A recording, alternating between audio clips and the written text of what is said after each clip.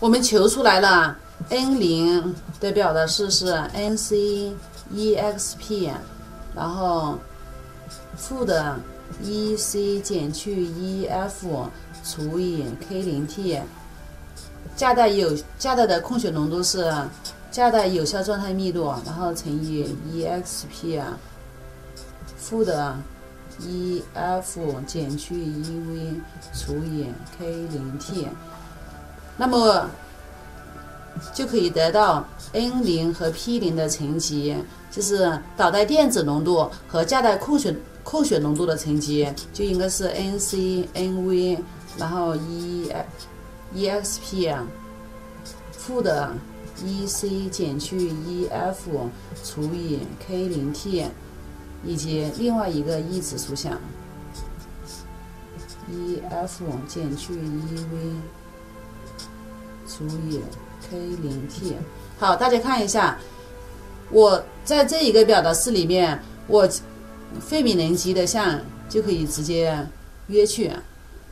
可以直接约去，那么我们得到的就是 N C N V，然后 E X P 负的 E C 减去 E V 除以 K 零 T。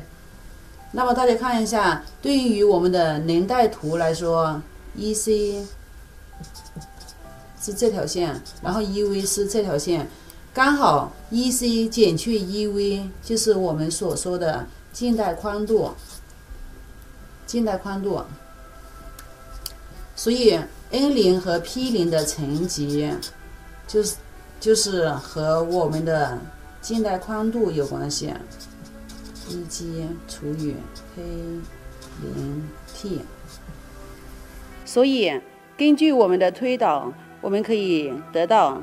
电子和空血的浓度乘积与费米能级没有关系，也就是与杂质类型和数量都没有关系。